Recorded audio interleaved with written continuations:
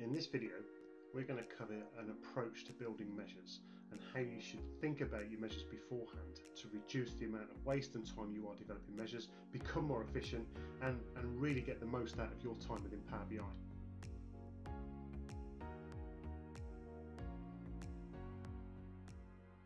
Hey guys, this is Hayden from Kinnekt. Thanks for tuning in.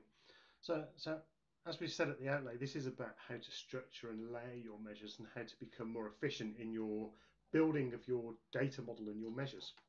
So I've um, got my data model here. What I want to do is I've got my orders that has the product quantity. I've got my product price in the products table here and my actual cost which is in my shipments, the cost of the delivery of that product. So I want to work out the total cost, um, sorry, the total revenue minus the total cost to get my profit. So let's jump into a measure.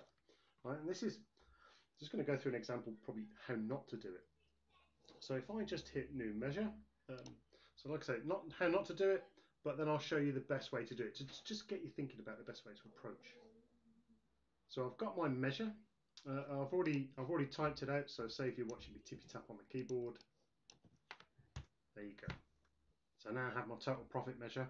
Let's drag that into here.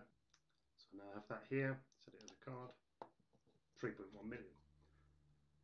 So at some point I'm going to want a measure that tells me what my total revenue and total cost was. So I've already got those built here.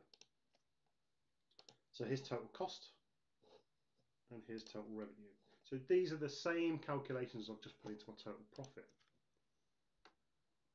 So what, what really I should have done, although I did do in this model, but what, what you should focus on when building your measures is to build up your simple, your base, your early measures uh, at the very start. So this will be total revenue, total cost. So I'm allowed to, so uh, I've now just put a measure within a measure to generate that profit.